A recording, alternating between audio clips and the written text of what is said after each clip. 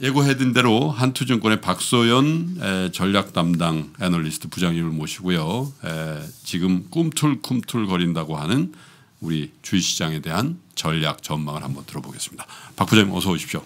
네 안녕하세요. 오랜만에 뵙겠습니다. 네 오랜만에 저하고 뵙습니다. 방송은 처음 하시는 거죠? 네 한번 얼굴만 뵀었는데 방송은 처음인 것 같습니다. 고맙습니다. 이렇게 네. 바쁘신 저녁 시간이실 아 텐데 저도 초청해 주셔서 감사드립니다. 정말이에요? 네. 네, 그럼 매주 초대하겠습니다. 네. 예, 저희 채팅방에 1,300분이 지금 증인이에요. 네 알겠습니다. 물론 이제 팟캐스트로는 훨씬 더 많은 분이 듣고 계시지만요. 자 오늘 좀 숨고르기 양상이었던 것 같은데 네. 에, 최근의 상승세가 생각보다 좋았다라는 평가고 야 이러다가 내년 상반기 혹은 내년 1, 4분기에 뭔 일 나는 거 아니야? 왜냐하면 주도주가 보이잖아요, 그죠? 네네. 예, 어떻게 봐야 됩니까?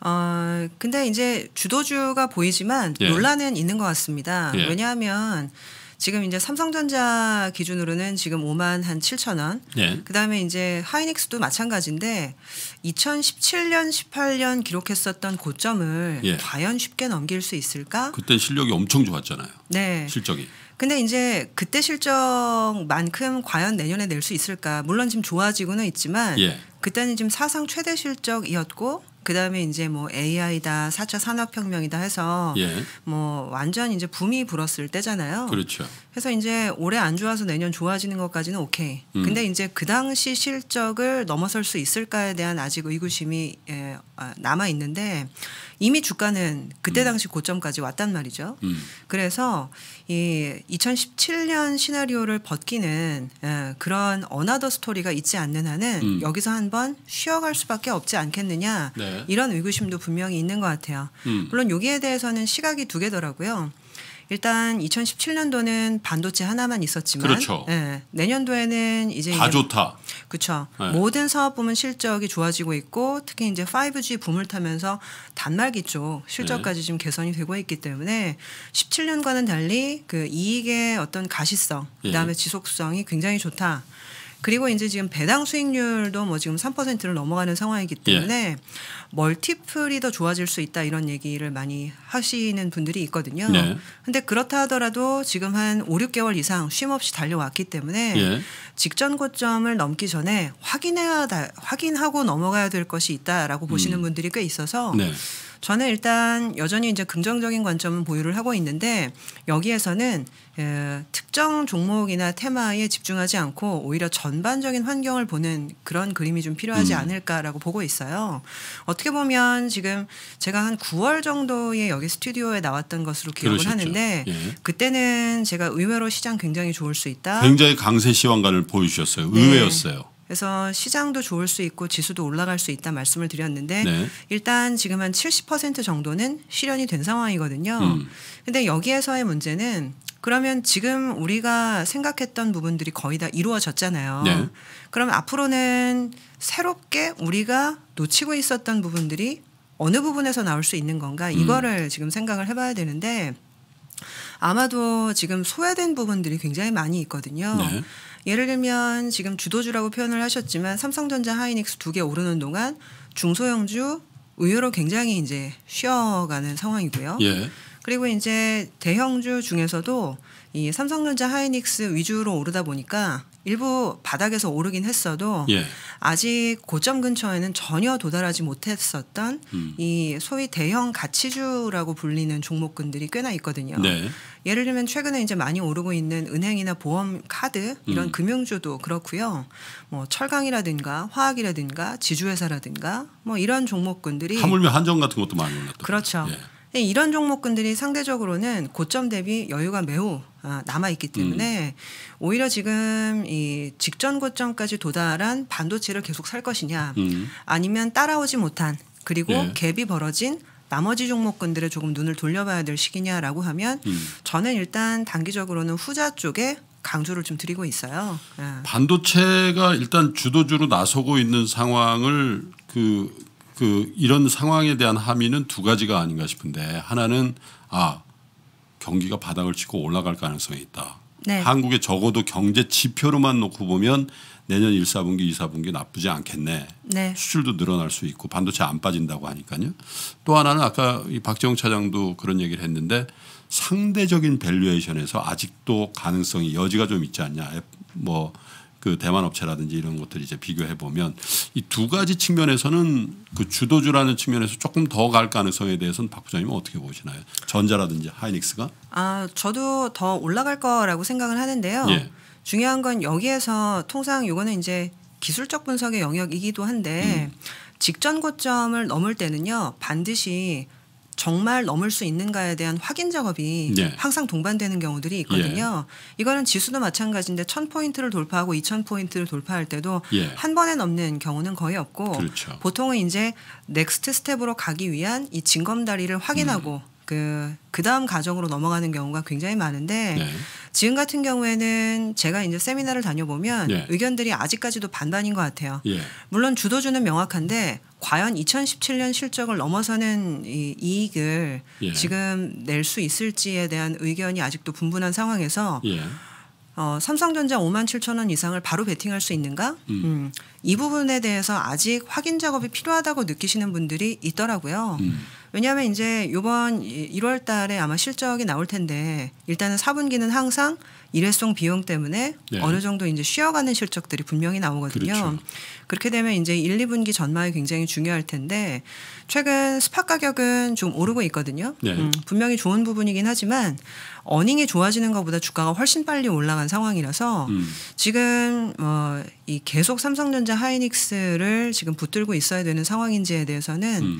아, 의견은 반반 정도 엇갈리는 상황이다라고 저는 보고 있어요. 자, 그럼 요는 이런 거 아니겠습니까? 실적이 터닝하고 있는 에, 삼성전자 하이닉스 반도체 주가가 좀 쉬어가는 국면에서 네. 지금 열거해 주신 나머지 섹터가 그러면 에, 상대적으로 더 강한 모습을 보여준다면 지금 2200포인트 근방에 있는 우리 코스피가 예를 들면 미국이라든지 혹은 가까이 있는 일본이라든지 대만처럼 훨씬 더 강한 모습으로 가줄 수 있을 것 같은데 주도주가 쉬어가는 국면에서 과연 상대적으로 덜 올랐거나 아니면 매기가 좀 덜한 이 업종들이 단지 싸다고 해서 올라갈 수 있는 여지가 많이 있나 이런 게 이제 관심사인 것 같단 말이죠. 그쪽으로 쉽게 못 넘어가는 분들이 많아서 한번 네, 네, 여쭤보는 네. 거예요. 그 뭐 주도주가 쉰다라고 해서 빠진다라고 보는 거는 전혀 아니고요. 네. 근데 예를 들면 그런 거죠. 2017년도에 반도체가 주도를 했던 환경과 예. 2019년과 2020년도에 반도체가 주도를 하는 그 근본적인 배경이 저는 틀리다라고 보거든요. 예. 예를 들면 2017년도 같은 경우에는요, 미국에서도 그때 이제 빵 주식이라고 해서 예. 이 대부분의 이제 플랫폼 회사들이 예. 서버 투자를 격렬하게 했었고요. 이 때문에 이제 이 서버 투자에 들- 그러니까 서버에 들어가는 네. 이 낸드 플래시나 내지는 메모리 반도체에 대한 수요가 폭증을 했었고 이것이 이 전반적인 IT 경기를 이제 붐업시켰던 요인들이었거든요. 예. 근데 지금 미국을 보게 되면 내년도가 대선이 있어서 실질적으로는 이 5G 뭐 관련된 수요는 지금 차치하더라도 2017년도의 수요 환경과는 굉장히 다르거든요. 네. 지금 보면 미국에서 유력 대선 후보라고 얘기하는 엘자베스 워렌 같은 경우도 네. 실질적으로는 뭐 페이스북을 분할을 해야 된다. 내지는 IT 회사들을 규제해야 된다. 네. 강경론을 내세우고 있기 때문에 쉽사리 tech 업체들이 설비 투자를 강하게 하지 못하는 모습이 음. 보이거든요. 네, 거기다 뭐 반독점에 대한 조사 같은 것도 받고 있고요. 네. 그래서 미국 증시를 보셔도 뭐 필라델피아 반도체 지수 굉장히 좋은데요. 예. 예전에는 필라델피아 반도체 주식만 올라가면 전형적인 테크장이었다면 네. 요새는 아침에 미국 증시 일어나서 확인을 해보면 음. 의외로 금융이 좋고요. 의외로 소비재가 좋고요. 테크도 올라가는 가지만 미국에서는 더 이상 테크가 주도주가 아닌 경우가 굉장히 많습니다. 음. 그래서 2017년과 19년의 환경은 조금은 다르다라고 음. 보는 것이 한 가지이고요. 그리고 결국에는 내년 시장의 그러면 환경을 어떤 식으로 판단을 해야 되느냐. 네. 경기는 도는데 2017년처럼 tech 업체들이 팡팡 투자를 해줘서 이 부분에 대한 수요를 우리가 가져오는 장일 거냐 네. 아니면 그 투자 수요가 다른 데서 나오는 환경인 거냐 이거를 판단을 해야 되는데 저는 사실 2020년의 투자 환경은 중국이 키를 쥐고 있다라고 생각을 하고 있거든요. 오히려 그렇죠. 네. 아. 근데 이제 중국이 키를 쥐고 있다라는 부분은 우리나라에 있어서 장점과 단점 두 가지가 있습니다. 네. 일단 장점부터 말씀을 드리면 중국이 지난 2년 동안 굉장히 저는 이상했다라고 생각을 해요. 예. 이게 왜 그러냐면 미중 무역 분쟁 한창인 상황에서 제일 타격을 많이 받았거든요. 근데 이 제일 타격을 많이 받은 나라가 경기 부양 조치를 하나도 안 썼습니다. 뭐 예. 금리도 좀 재할인율이나 뭐 이런 것도 인하하고 뭐 그런 거 아닌가요? 지준율 정도는 내렸죠. 네. 근데 올해 지금 금리 내린 폭을 보시게 되면요. 네. 브라질도 200bp를 내렸고요. 예. 터키는 지금 1000bp 이상을 내렸고 아하. 미국도 75bp를 내리고 예. 우리나라 같이 그 버티고 버텼던 한국은행도 50bp를 내렸거든요. 그렇죠. 근데 중국 같은 경우는 작년부터 금리를 전혀 안 건드리다가 11월 달에 와서 최근에, 예. 그렇죠. 5bp를 내렸거든요. just 5bp. 예. 그러니까 실질적으로는 중국이 자, 이 지준율이나 이런 부분들만 건드리고 금리를 하나도 안 내린 이유가 뭐느냐. 음. 심지어 재정 정책도 거진 안 썼거든요. 네. 이거는 그 중국이 일본에 대한 트라우마가 있다라는 얘기를 상당히 많이 합니다. 아하. 뭐 아시겠지만 1985년도에 플라자 합의 아, 있었을 그때 이후에 일본 중앙 은행의 정책, 일본 당국의 정책이 굉장히 에, 미스를 했죠. 네, 그렇죠. 그래서 이제 그 당시 이제 금리를 너무 많이 내려서 일본에서 버블이 일- 일어났다가 꺼진 경험이 있기 때문에 네. 중국에서 이런 일이 일어나면 정치 체제의 위험이 있다라고 생각을 아하, 해서 예. 중국 사회과학원에서는 예전에 그 일본 케이스 스터디를 굉장히 네. 많이 연구를 했다 하더라고요. 근데 이제 중요한 거는 그래서 지- 작년부터 미국과 경기 분쟁을 그러니까 그 무역 분쟁을 하는 가운데 경기가 굉장히 안 좋아지는데 네. 전혀 부양책을 안 썼던 거죠. 음. 오히려 5월 달에 같은 5월 달 같은 경우에는 지금 농촌성화은행 중에 하나인 바오상이 망한다고 하는데도 그냥 뒀거든요. 음. 어허.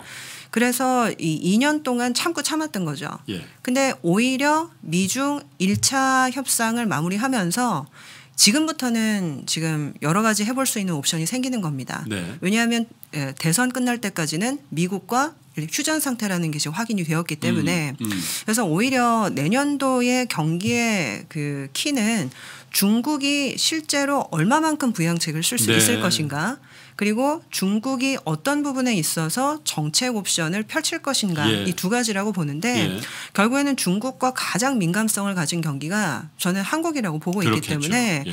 그래서 이 중국이 어떤 방향으로 움직이느냐에 따라서 한국 증시도 상당히 달라질 가능성이 높고 2017년은 미국의 테크주가 주도하는 이 이 전형적인 4차 산업혁명 장세였다고 하면 음. 2019년에서 20년으로 넘어가는 해는요 미국이 주도하는 테크의 해가 아니라 사실상은 중국이 주도하는 예, 약간 경기 반등이라고 보셔야 될 것 같습니다. 국면에서는 그러면 tech 주식이 아닌 중우장대 산업이 가격적인 메리트와 더불어서 한번 쭉 level up 될 가능성이 있다 이렇게 보시는 것 같은데요. 어, 근데 그거는 또 이제 반반이 있어요. 예. 일단은 말씀하신 시나리오도 분명히 있고요. 네. 실제로 재밌는 게 저희 중국 팀에서 최근에도 리포트를 냈었는데요. 예. 삼 3주 전에 지금 선전에서 부동산 그 주택 규제가 풀렸습니다. 네. 실제 이제 우리나라는 대출 규제를 굉장히 강화하고 있는 상황인데요. 중국은 2년 동안 강화하다가 요새 굉장히 경기가 안 좋아지다 보니까 선전에서 오히려 주택 대출 규제를 한번 풀었거든요. 네. 근데 이게 2년 만에 처음 있었던 일이고요. 음. 그러면서 중국에서 최대 부동산 업체 중에 하나가 이제 완커라고 있어요. 네. 이 완커가 바닥에서 벌써 20%가 올랐거든요. 예. 그러면서 이제 중국의 이제 매크로 정책이 바뀌면서 바오산도 최근에 철강 가격을 올리고요. 네. 최근에 포스코가 올, 가격이 올라간 것도 이 바오산의 철강제 가격 인상 뉴스가 나오면서 이제 포스코 네. 가격이 많이 올랐거든요. 그래서 실질적으로 일단 중국의 정책에 변하면서 이 중국 경기가 올라올 때 수혜를 볼 수 있는 종목들이 분명히 올라오는 게 있는 겁니다. 음. 근데 저는 가장 중요한 부분 은 뭐라고 생각을 하냐면 네. 그러면 중국의 내년도의 정책 목표는 뭔가 음. 단순하게 어, 미국과 휴전이니까 이제는 경기를 좀 돌보자라는 걸까? 네. 근데 저는 그거는 아니라고 보거든요. 예. 사실 여기에 있어서의 이제 tech 투자의 묘미가 있는 건데 네. 저는 내년에 제가 중국 공산당이라고 한다면 음. 1년 휴전 이 보장이 된 이 기간에 더욱더 기술 굴기에 박차를 가할 수밖에 없다라고 생각을 해요. 아, 그러니까 어떤 뜻이냐면 지금 중국 제조 2025라는 것들을 2016, 17에 가속화하다가 사실 이 부분에 있어서 미국이 제동을 걸면서 미국 분쟁, 무역 분쟁의 그렇죠. 시발점이 된 거거든요. 네. 근데 이제 사실은 중국은 이 기술 굴기라는 것들을 포기할 생각이 전혀 없는 거고요. 예. 그리고 이제 미국으로부터의 기술 독립을 실제로 해야 된다라고 생각도 하고 있어요. 음. 그래서 최근에 뭐 이 기사에도 난 것들을 보면 352 정책이라고 해서 네. 3년 안에 외산 하드웨어와 외산 소프트웨어를 100% 바꾸겠다. 음. 그래서 2020년에는 30%, 그다음에 2021년에는 50%, 그리고 마지막 3년 차인 22년에는 나머지 20%를 바꿔서 3년 안에 100%를 전부 다 국산화로 바꾸겠다라고 예. 얘기를 하고 있거든요. 예. 그러니까 이 얘기가 뭐냐면 사실 중국이 그 정도로 국산화를 할 수 있을 정도로 기술 수준이 올라갔다라는 부분들은 네. 아직은 확인되진 않아요. 예. 근데 중요한 것은 중국은 이 상업적인 목적이 아니라 네. 이거는 정치적인 내지는 체제 안정적인 목적을 위해서 이것들을 추구하고 있기 때문에 아하. 중국 쪽에서의 tech 수요가 올라올 가능성이 저는 굉장히 높다라고 보는 아하. 거죠. 예. 근데 중요한 거는 요거는 한국한테 장점이 있고 단점이 있습니다. 왜냐하면 음. 철저하게 국산화 위주로 이 시행이 되는 부분이기 때문에 네. 수요가 올라오더라도 먼저 중국 것을 쓸 수밖에 없는 거고요. 그렇겠죠. 근데 여기에서 중국 것으로 대체되지 않는 부분에 대해서는 소재든 부품이든 일부 한국으로 수요가 넘어오게 되는 거죠. 네. 그래서 사실상은 한국의 전반적인 어떤 tech 수요가 좋아진다라고 보기보다는 실질적으로는 이런 부분에서의 어떤 이 부분적인 수요 흡수 대체 불가 상태인 그렇죠. 예. 네.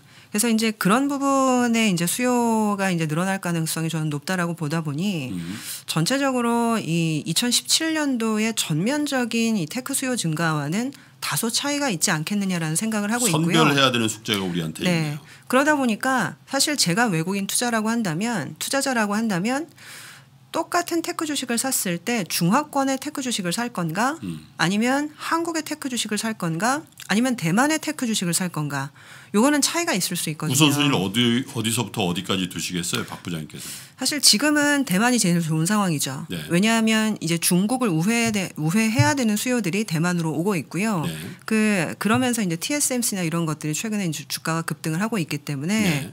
근데 이제 대만은 이미 이제 실현된 스토리니까 그 다음 스텝을 생각을 해보면 저는 이제 경제공작회의도 끝났기 때문에 네. 아마 내년도 전인데 이전까지 구체적인 정책 계획을 세우기 시작할 거라고 보고 있거든요. 음. 그렇게 되면 아마도 이 중국 내에서의 국산화 예를 들면 지금 우리나라도 몇 개월 전부터 소부장이 아주 난리잖아요. 그렇습니다. 소재 부품 장비 관련해서 지금 1월 달에도 지금 펀드가 출시가 되고 네. 우리나라도 아마 2020년 정책 목표 중에 하나로 소재 부품 장비 국산화를 아하. 적극적으로 추진을 할 것 같은데 예. 중국도 사실 똑같이 갈 가능성이 있는 겁니다. 우리 한국이 당하는 걸 보니까 중국 입장에서도 어 저거 우리한테도 벌어질 수 있는 일이네 미리 준비하자 이런 생각도 했을 것 같네요. 그렇죠. 뭐 아주 뭐 목적 목적이 똑같다라고 생각하지는 네. 않지만 일단 비슷한 맥락인 겁니다. 음. 결국엔 지금 세계가 약간 분절화되고 있고요. 그렇죠. 공급망 자체가 분절화되고 있다 그러네요. 보니까 각 기업들은 이 부분에 준비를 해야 되는 상황으로 지금 전개가 되고 있고 음. 그래서 약간의 상황적인 측면이 틀리기는 하지만 예. 중국은 나름대로의 tech 수요 증대에 대해서 대비를 해야 되는 상황인 겁니다. 예. 그래서 최근 얘기를 좀 들어보면 지금 커창판이라든가 음. 내지는 차스닥이라든가 이 부분에 대한 좀 적극적인 정책 노력이 있을 가능성이 있다. 예. 뭐 이런 얘기도 일부 들려오고 있기도 하고요. 예. 실제로 실질적으로 최근에 중국 전체적으로 증시가 좋기는 했지만 네. 어, 이 ChiNext라든가 이런 이 기술주들이 실제 음. 주가가 좀 좋거든요. 그렇군요. 그래서 아직까지는 12월이기 때문에 명확하게 시나리오가 나오지는 않았지만 내년도 1, 2월 달에는 이미 우리가 알고 있는 거는 주가에 반영이 돼 있을 가능성이 높고 네. 그 다음 스텝에서 어떤 가정이 변했을 때 어떤 결론이 지어질 건가 이거를 한번 생각을 해야 돼, 해봐야 되는 시점이 연말 연초라고 보는데 네. 저는 일단 2017년과 똑같지는 않을 거다라는 생각을 좀 하고 있고요. 네. 그러다 보니까 테크를 선호를 하지만 약간 다른 스토리로 접근을 하고 있는 거죠. 그렇군요. 네. 사실 에, 중국이 어떤 스탠스를 예, 정책적인 그, 그 수단을 쓸 수 있는 여유를 갖고 있는 상황이다.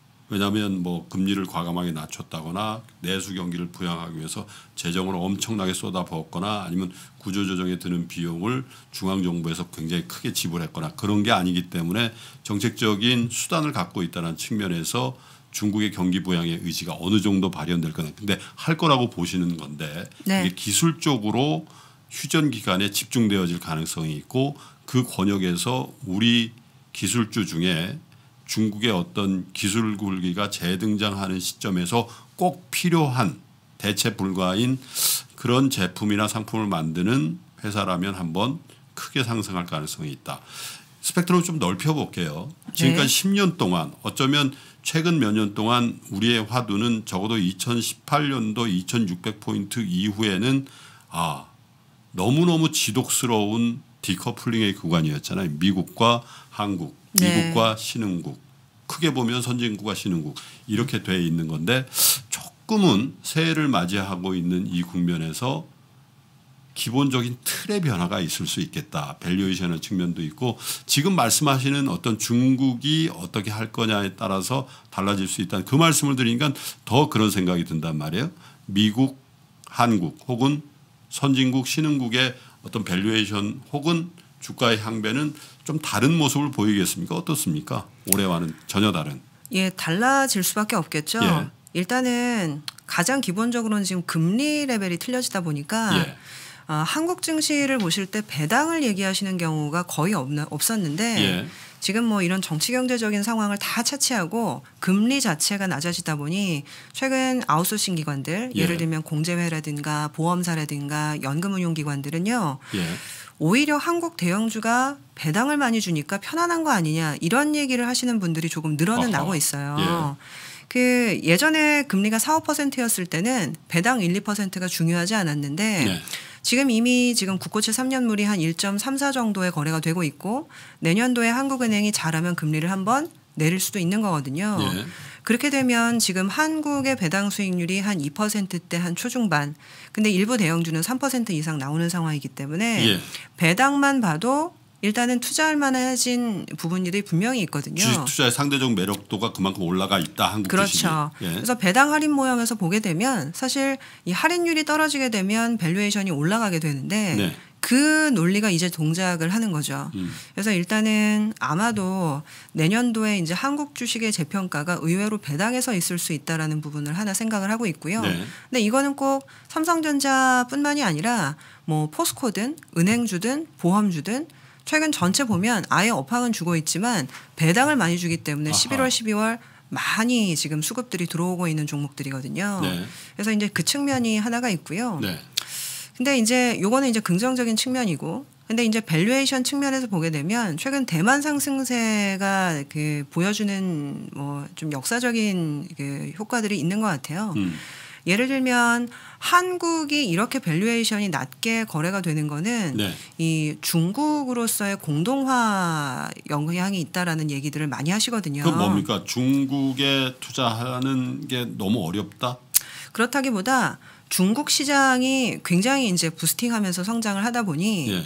중국 시장의 성장의 과실을 좀 뺏겨가는 측면들이 있는 거죠. 네. 예를 들면 중국이 좋아지니까 같이 좋아지는 주변 업종들도 있긴 하지만 네. 사실 우리나라 입장에서는 공장도 전부 다 중국한테 뺏기고요. 네. 아, 뺏긴다라는 표현이 조금 뭐, 뭐 나- 자발적이지만 사실은 근원을 보면 네 피동적으로 갈 수밖에 없는 상황이 그렇죠. 예. 그래서 공장도 사실 중국으로 전부 다 나갔고 네. 그러다 보니까 인력도 전부 다 유출이 되고 그러다 보니까 기술은 실제로 중국에서 축적이 되고 이런 측면들이 어떻게 보면 경제의 동력들을 그렇군요. 우리가 알게 모르게 상실한 예. 부분이 있거든요. 예. 근데 이런 과정이 이미 80년대 후반부터 대만에 있었던 겁니다. 아하. 그래서 이제 대만 같은 경우는 결국 산업 공동화가 굉장히 큰 영향을 네. 미쳤고 지금 12,000이라는 레벨을 아주 오랜만에 돌파를 했다 이런 전고점이라면 역사적 전고점. 맞아요. 네. 89년도에 기록했었던 네. 그 90년대 전고점이거든요.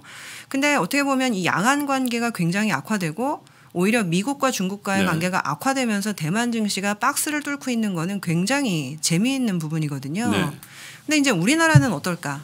우리나라는 지금 사실상 이 중국과의 공동화 때문에 예, 수혜를 본 부분도 있지만 피해를 본 부분도 있는데 대만과는 달리 예, 사실 수혜를 본 부분도 굉장히 있었던 굉장히. 예. 예, 측면이 있거든요. 예. 그러다 보니까 이제 대만과는 좀 다른 스타일의 어떤 valuation이 음. 나타날 가능성이 있어서 사실 이제 배당이나 이런 측면에 대해서는 굉장히 좀 주목을 받는 측면들이 있겠지만 음.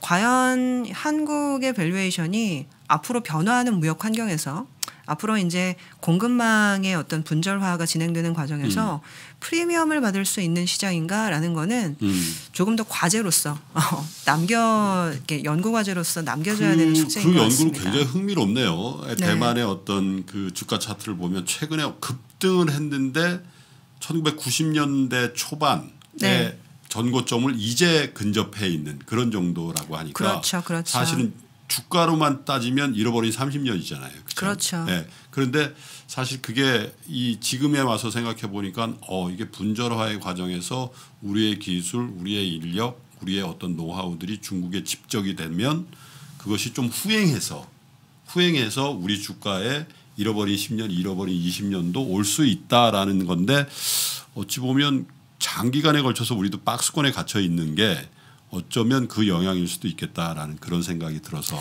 그렇죠. 네. 사실 80년대 후반에 이제 마오쩌둥이 이제 흑묘백모론을 주창을 하면서 중국도 개혁 개방을 하겠다라고 예. 얘기한 시점부터 공교롭게도 대만은 박스권에 갇히게 그렇군요. 됐거든요. 예. 물론 그 안에서의 이제 발러타이란 시장의 흐름들은 있었지만 네.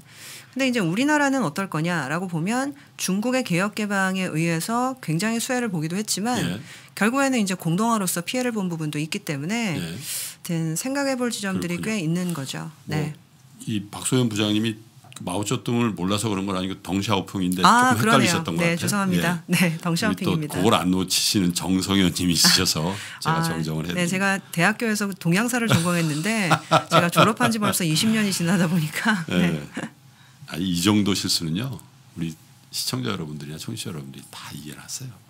아, 네. 자, 에, 시각을 조금 우리 안쪽으로 좀 가져와 볼게요. 그러면 에, 시장은 꿈틀꿈틀거리고 아마도 내년 초에 에, 지금보다는 한 100포인트 이상 오를 수 있는 에, 그런 시장이 연출될 수 있다 이렇게 보시는 것 같아요. 네. 그러면 어떻습니까? 사실은 우리 개인 투자자 입장에서는 지금 많이 물려 있는 바이오 섹터도 있고 또 뒤늦게 산 5G도 많이 물려 있는 분도 있어요. 네. 고점에 사신 분들은 여기도 바이오 못만치 않더라고요. 그리고 어쨌든 뭐 중소형주들끼리 어떤 순환매들이 돌면 좀 뭐 이 체감하겠는데 예전처럼 뭐 삼성전자 하이닉스는 우린 절대 안 사는 아니지만 그래도 어쨌든 외국인 기관의 어떤 놀이터라는 그런 생각이 많잖아요. 장에 100포인트 정도의 상승 여력이 있다라고 하셨으니까 그러면 코스닥 시장은 어떻고 중소형주 대형주의 관계 설정은 우리 투자자 여러분 어떻게 해야 될까요? 그 지금은 대형주가 한 4개월 정도 아주 세게 달렸던 상황이기 때문에 예. 의외로 1월 달은 지금 1월 효과라는 예, 뭐 언어도 있잖아요. 예. 제뉴얼리 이펙트라고. 주로 소형주가 좋던데. 그렇죠. 예. 그래서 아마 지금 4개월 동안 대형주가 너무나 달렸기 때문에 네. 1월 달은 아마 좀 그냥 손바뀜이 있을 수밖에 없을 것 같아요. 음. 근데 그러면 그 손바뀜이 어느 쪽일 거냐? 항시 1월 달은 이제 뭐 바이오나 이런 것들이 좋았는데요. 예. 저는 1월 달에 소재 부품 장비를 주- 주목하셔야 된다라고 생각을 많이 합니다. 예. 일단 아까 말씀을 드렸던 중국 쪽에서의 국산화 흐름과도 연결이 되어 있는 측면이 분명히 있고요. 네. 그리고 우리나라도 아직 발표는 안 됐는데 지금 내일 그 2020년 경제정책 방향이라는 게 지금 나와요. 네. 기획재정부에서 나옵니다. 근데 항상 1년에 한 번씩 제가 제일 중요하게 보는 자료 중에 하나거든요. 예. 근데 지금 언론에서 보도되는 대충의 내용을 보니까 예. 벤처, 혁신 이런 내용이 들어갈 가능성이 매우 높더라고요. 예. 근데 아마도 벤처나 혁신이라고 한다면 기술 쪽일 가능성이 매우 높고 그렇겠죠. 그렇다고 한다면 지금 이 소재 부품 장비에 대한 국산화를 음. 계속 강조할 가능성이 높다라고 저는 보거든요. 네. 그렇게 되면 내년도에 이제 정책 자금이 투입되는 부분도 있고요. 음. 그리고 1월, 1월 중순쯤에 아시겠지만 소재 부품 장비에만 투자하는 이 몇몇 펀드들이 실제 설정이 됩니다. 네. 아, 그래서 아마 1월 달은 못 올라갔었던 대형주를 사는 전략도 좋긴 음. 하겠지만요. 네. 오히려 지금 1월 효과 예. 그리고 이제 정책 테마 이런 것들을 전반적으로 감안을 하게 되면 예. 예, 코스닥 기술주들을 한번 사봐도 되는 시기가 아닌가라는 생각을 저는 하고 있어요. 네. 이미 이제 많이 올라갔던 것도 있긴 하지만 예. 아, 상대적으로는 지금 중소형주가 많이 뒤쳐져 있기 때문에 음. 어, 이런 로테이션도 한번 고민하실 때가 됐다라고 예. 저는 보고 있습니다. 오늘 제가 어떤 모임에 아침에 갔더니요. 에, 그런 얘기를 하더군요. 이 소부장 얘기를 화제로 올려서 했는데 원래 소부장이라는 게 산업부의 일이에요. 음, 예. 왜냐하면 에, 이 일본과의 산업 뭐 교역 이런 데서 파생된 일이니까 근데 이 소부장 일을 정부 부처 중에 중소벤처기업부에서도 굉장히 의욕적으로 아, 네. 하려고 그런다는 거죠. 뭐 행간의 의미를 여러분 한번 읽어보십시오. 그러니까 지금 박 부장님께서 말씀하신 아 내년도에 우리 정부의 비교적 파워풀한 부처에서 또 파워풀한 부처의 장들이 관심을 갖고 있는 권역이 뭔가 이렇게 생각해 보면 아 소부장 이거 키워야 되겠네. 근데 뭐 일본과의 뭐 회담이 있고 그런 거 아무 의미 없다라는 거죠. 어차피 한번 네. 봤기 때문에 그쵸 뭐 일본과의 관계 설정은 좋아질 수도 있는 거고 나빠질 네. 수도 있는 건데 어쨌거나 그것과 관계없이 네. 다시 이런 일이 있었을 때 우리가 당황하지 그렇겠죠. 않으려면 네. 실력을 키워야 된다 내지는 자생력을 키워야 된다라고 그렇죠. 생각하는 게 현재 기업인들의 입장이고 예. 이제 정책 당국자들의 입장이기 때문에 예. 아마 국산화 추이는 저는 무너지지 않을 추세라고 생각을 많이 하고 있습니다. 음. 예. 사실 제가 이 전략하시는 분들한테 잘 안 드리는 질문인데요. 예, 머릿속에 그리시는 내년 1분기의 주가의 흐름은 어떤 겁니까?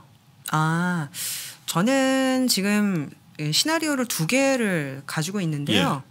예. 1분기 같은 경우에는 계속 올라갈 수도 있는데 예.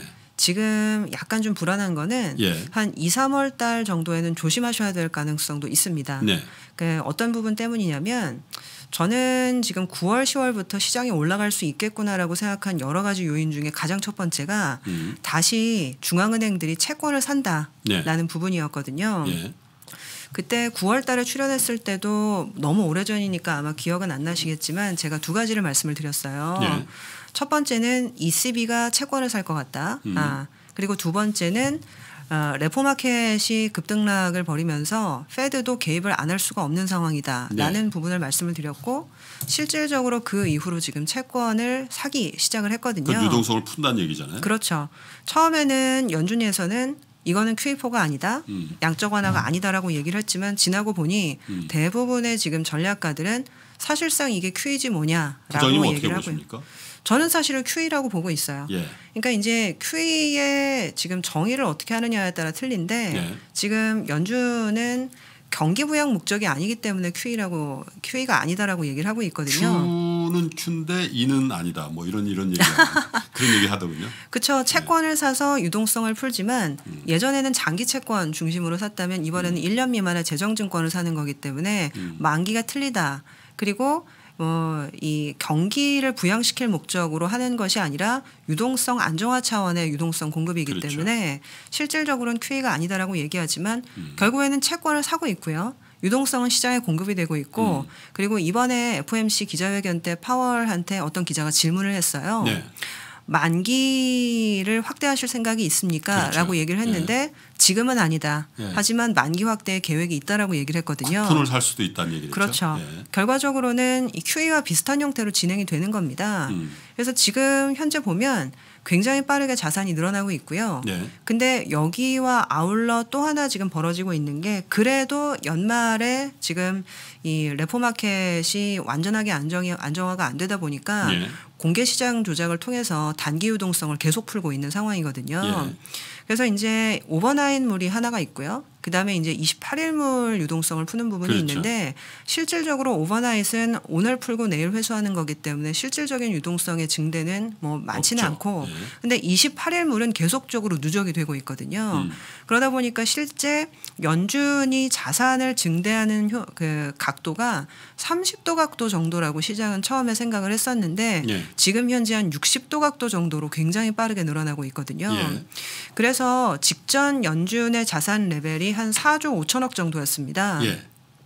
근데 지금 이 속도로 가게 되면 음. 원래는 한 5월 달 정도의 직전 고점에 도달을 할 것이다라고 생각을 했는데 네. 지금 일각의 분석에 따르면 1월 말에서 2월 초에도 도달할 수 있다. 이런 얘기가 있더라고요. 그게 줄인 기간이 어느 정도였죠? 기간으로 보면 기간으로 보게 저도 되면 줄인 연준이 줄인 게 한 1년 정도 올해 줄였나요? 지금 7월까지 진행을 네. 했었으니까요. 실질적으로 지금 1년 약간 안 되는 기간 동안 줄였겠죠. 음, 근데 이제 다시 회복하는데 몇 달 안 걸린다는 얘기죠. 그렇죠. 예. 네. 그래서 실질적으로 아마도 직전 고점 4조 5천억까지 도달을 하게 되면 제가 파월이라도 네. 어 풀어달라고 해서 다 풀었는데 오. 직전 고점에 왔다는 거죠. 부담되네요. 그러면 이걸 더 풀어야 되나 말아야 되나 아하. 고민하는 지점이 분명히 올 거거든요. 예. 왜냐하면 유동성을 지나치게 공급했을 때 리스크가 분명히 있거든요. 인플레가 나올 수도 있고 예. 그렇군요. 예를 들면 버블을 일으킬 수도 있고 예. 그래서 아마도 어, 저는 일단 5월이라고 생각을 하고 시작을 했는데요. 음. 지금 현재 부분으로 보면 아, 굉장히 자산 증가 속도가 빨라서 음. 그 고점이 앞당겨질 수도 있는 상황입니다. 네. 그래서 내년 1분기 같은 경우는 사실 그거를 제외하면 큰 리스크는 없을 것 같다라고 음. 보고 있는데 음. 만약에 연준의 이 자산 증대 속도가 지나치게 빨라져서 음. 연준이 이 채권을 사는 부분에 대해서 고민을 하는 적이 나오기 시작하면 시장은 상당히 흔들릴 수가 있기 때문에 음. 네. 그 FOMC 회의가 있을 때마다 음. 한 번씩 체크를 해보시면 제일 좋을 것 같습니다. 그 얘기는 지금 미국 시장의 사상 최고가를 경신해내고 있는 것은 어떤 미국 경제의 펀더멘탈보다는 연준의 에, 시장에 대한 비교적 기민한 대응에 근거한다 이렇게 보고 그, 그 연준의 어떤 시장 친화적인 노력이 조금 완화되거나 혹은 조금 드라이해지고 냉담한 반응이 나오면 시장이 좀 흔들릴 수도 있다 이렇게 그렇죠. 보시는 거네요. 네. 지금은 어떻게 보면 약간 페이크를 쓰고 있는 말로는 아니라고 하지만 시장의 유동성을 60도 각도로 가파르게 공급해주고 있기 때문에 실질이 있는데 네. 그게 목에 찼을 때 그 실질적인 것도 완화되거나 없어지는 상황이면 시장은 조금 긴장하고 봐야 될 가능성이 있다 이렇게 보시는 거죠. 그렇죠. 네. 그러니까 물론 뭐 저점에서 좋아지고 기저 효과가 나타나는 거는 분명히 예. 있겠지만 여기에 도움을 주고 있는 거는 분명히 유동성이거든요. 그렇군요.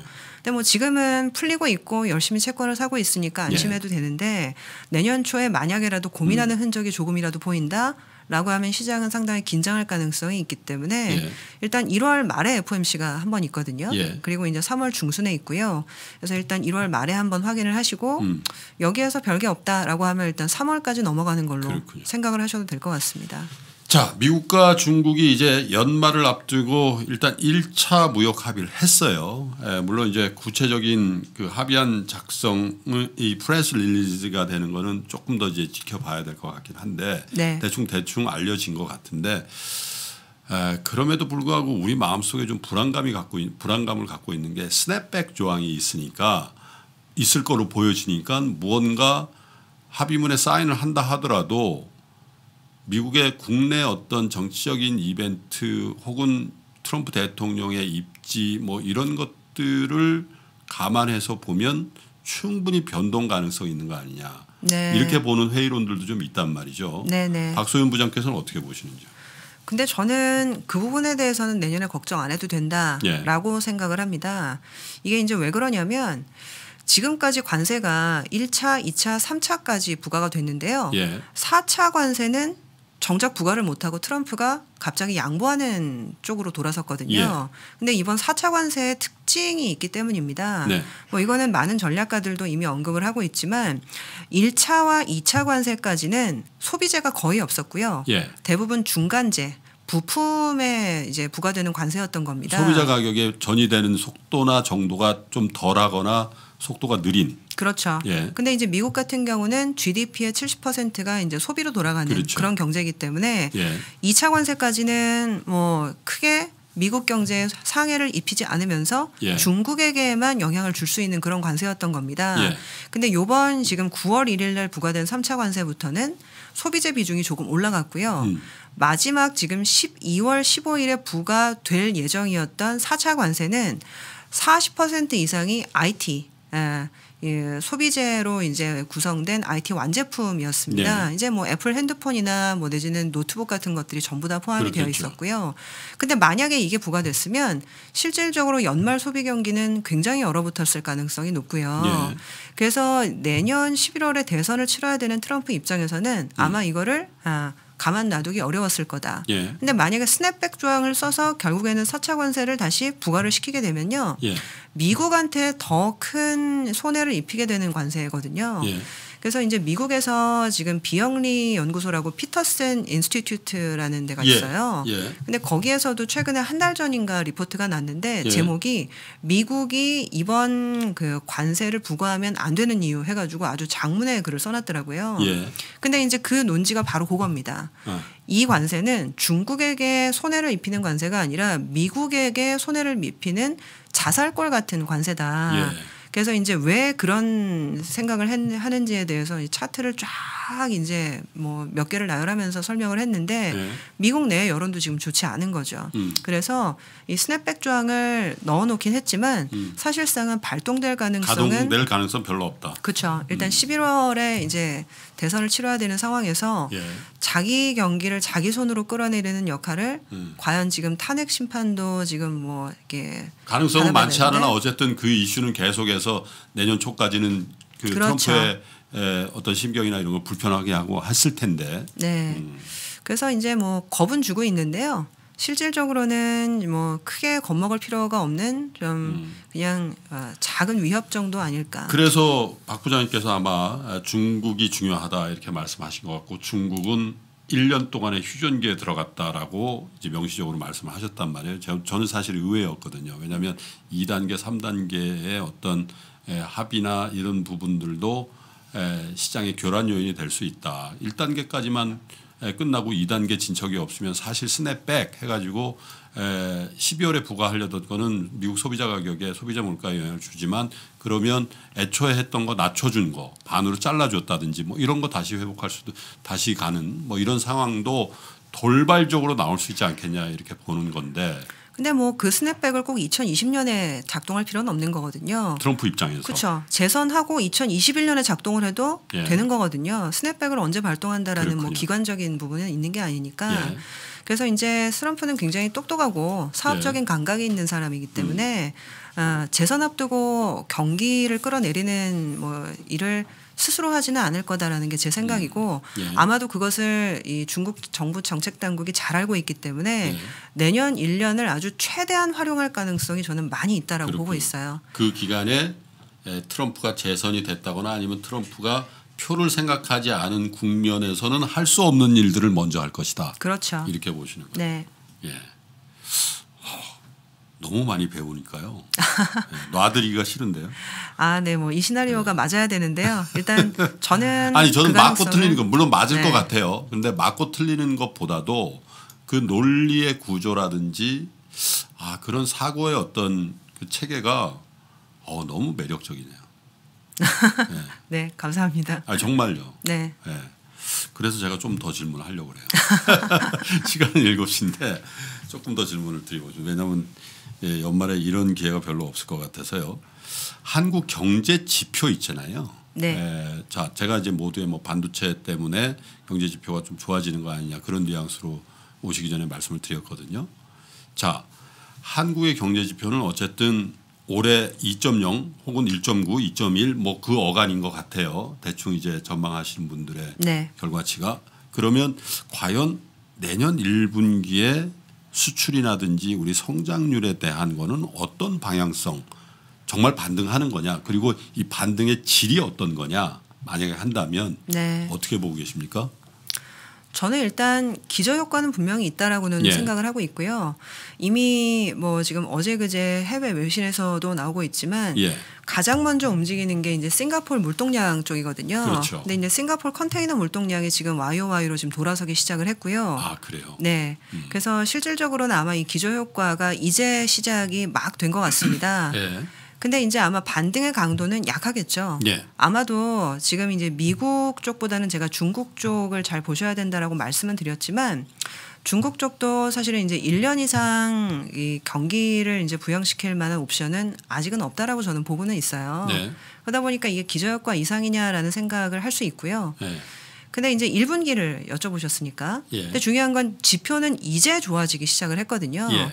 근데 불과 한 2, 3주 전까지만 해도 경제가 과연 좋아지는 게 맞아? 아, 예. 라는 얘기를 굉장히 많이 했었고 실제로 그래서 아, 며칠 전에 중국 경제 지표가 처음으로 예상치를 상회를 했을 때 예.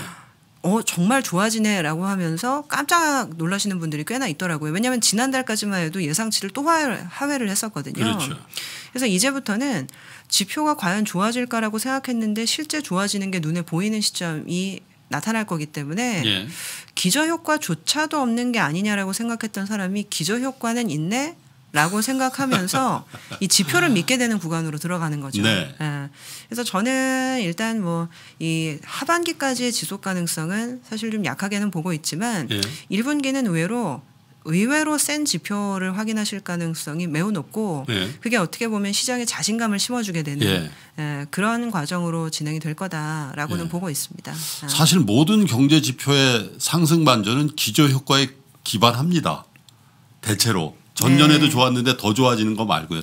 이 하락 이 상승 반전은 하락기에서 이 상승 반전할 때는 정도의 차이가 있지만 대부분 기저 효과를 근거로 해서 올라가는데 네. 그 다음 페이스가 어떠냐 이제 그걸 봐야 될 것 같은데 박 부장님께서 보실 때 내년 1분기에 우리 경제 혹은 에, 그 경제 지표를 구성하는 성장률, 수출 이런 것들은 의외의 반등세를 보게 될 가능성이 있다 이런 거네요.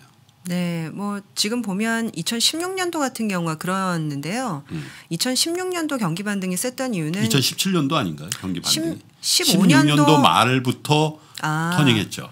근데 실질적으로 시장 바닥은 2016년도 2월이었거든요. 네. 근데 저는 이제 주식을 보는 사람이다 보니까 아, 예, 예, 예. 16년도 초라고 생각을 하고 있는데 주가적인 측면에서. 그렇죠. 주가는 16년도 2월이 바닥이었거든요.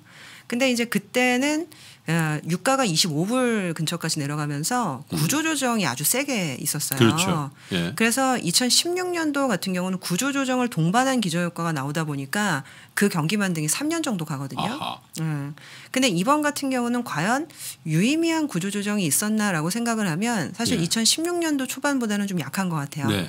그 당시 2016년도 초를 생각해 보시면 미국에서 쉐일 업체들이 3분의 1이 싸그리 망했거든요. 예. 그러면서 실질적으로 이그 저유가 때문에 중국도 가동률을 줄이고 음. 그다음에 바오산 철강 같은 경우도 capa를 축, 축소를 하고 네. 이러면서 이제 어, 경기 그 반등이 기간이 시작이 보니까 중국의 공급 사이드 구조조정 기간이었네요. 또. 맞아요. 예. 근데 이제 이번에는 중국이 2년 동안 진행은 하긴 했는데 그 정도의 강제적인 구조 조정이 있었느냐라고 그렇군요. 하면 사실 question mark라서 음. 제가 기저 효과는 강하게 말씀을 드리는데 과연 2016년처럼 한 3년 정도 지속되는 강한 경기 회복이냐라는 부분에 대해서는 그렇군요. 아직은 의구심을 갖고 있습니다. 네. 그래도 이 아직 12월이니까요. 네. 아, 내년도 초는 예, 좋게 보고 있습니다.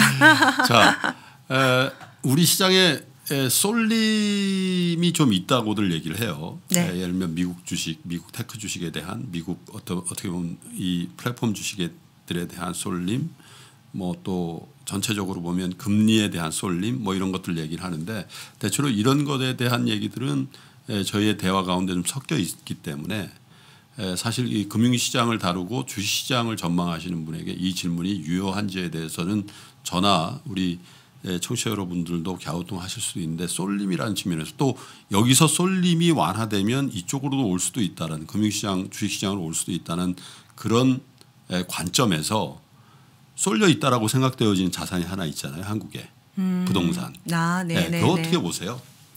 아, 부동산 근데- 시황을 말씀해달라는 네. 게 아니라 네, 네. 머니플로의 이, 이 자금의 흐름이라는 측면에서 만약에 이, 이 아셋 알로케이션이라는 측면에서 부동산 자금이 주식 시장으로 올 가능성에 대해서는 어떻게 보시는지요?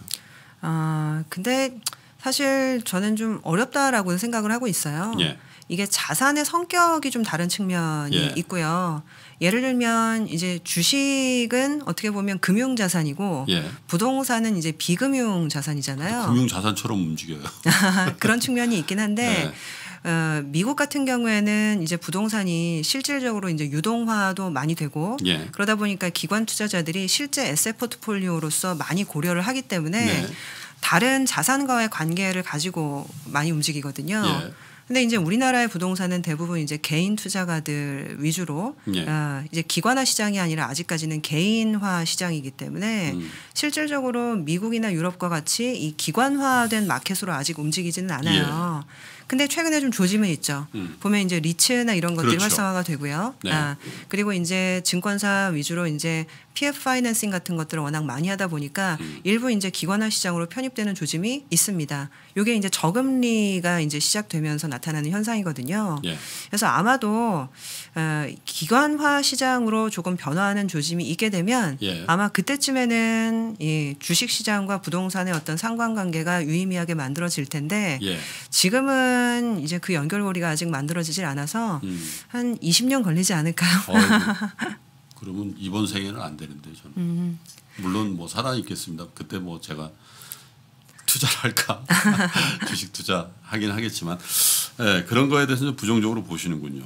예. 에, 박소연 부장님께서 아, 내년 초의 시장에 대해서 나쁘지 않게 보시는 거예요. 그죠? 네. 예, 9월 달에 나오셨을 때도 아, 지금은 주식을 팔아야 될 때가 아니고 사야 될 때인 것 같고 의외의 강세장이 연말로 가면 갈수록 나타날 수 있습니다. 이렇게 말씀하신 거 여러분 기억하시죠? 그리고 지금 말씀하신 거는 에, 그 전망이 한70% 정도는 지금 도달이 된 것 같다. 이런 전망도 해주시고 반도체가 지금 주도주의 역할을 하고 있는데 삼성전자 기준으로 실적을 감안해서 보면 지금 주가가 그렇게 편안한 주가는 아닌 것 같으니까 그 외의 권역에 있는 주식들에 대해서 오히려 더 관심을 가졌으면 좋겠다. 이런 조언을 주신 걸로 정리를 한번 해보겠습니다. 맞습니까? 네, 맞습니다. 예. 에, 제가 한 가지 에, 확인해야 될 게 있는데요. 에, 저는 이제 말을 굉장히 중요하게 생각하는 사람이라서 아까 불러주셔서 감사하다고 그러셨죠. 네. 예. 일주일에 한 번씩 부르려고 그러는데?